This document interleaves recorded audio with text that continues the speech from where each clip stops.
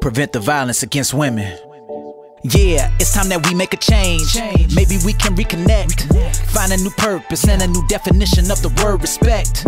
R is for relationship. Yeah. Skills that we can strengthen. Strengthen. E is for empowerment. Yeah. Empowerment of all women. S is for services short. Yeah. P for poverty reduction. Yeah. E for environment, making sure that it's safe. We cannot forget this. C for children and adolescents. and for abuse prevention. Yeah. T is for transformation, changing norms. I hope that you're with this. Time to make a change. We cannot forget. Can't be passive, gotta put in action. Time for respect. Yeah, yeah. Time to make a change. We cannot forget. Uh-huh. Can't be passive, gotta put in action. Time uh-huh. for respect. Woo! R E S P E C T about gender equality. Big decision making with World Health Organization. Hey, R E S P E C T about gender equality. Big decision making with World Health Organization. Hey.